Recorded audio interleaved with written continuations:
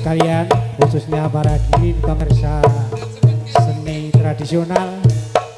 Hanya cukup sekian untuk menghibur kepada bapak dan ibu.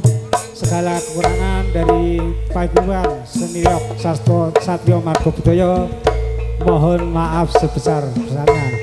Karena sesuai yang direkomendasikan oleh kepolisian Kabupaten Boyolali hanya sampai jam 23.30 maka pertunjukan seni reok Satrio Margio. Budoyo kami akhiri dan kami semua warga seni reok Satrio Margo Budoyo mengucapkan selamat jalan. Semoga sampai di rumah semoga bertemu dengan keluarga masing-masing.